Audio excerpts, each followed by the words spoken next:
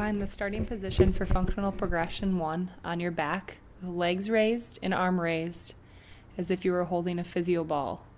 Remember the focus is on stability in your core as you extend one extremity at a time, arms and then legs, building up to extending both arm and leg at a time.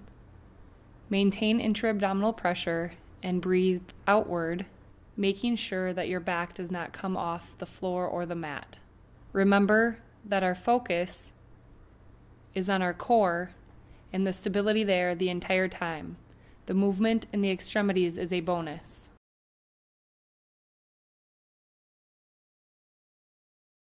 Find the starting position for functional progression one on your back, with legs raised and arm raised, as if you were holding a physio ball.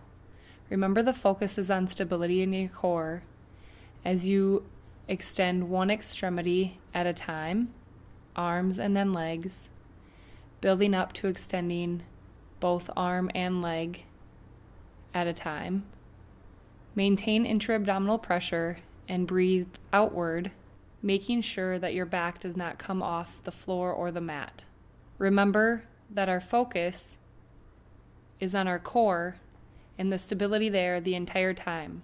The movement in the extremities is a bonus.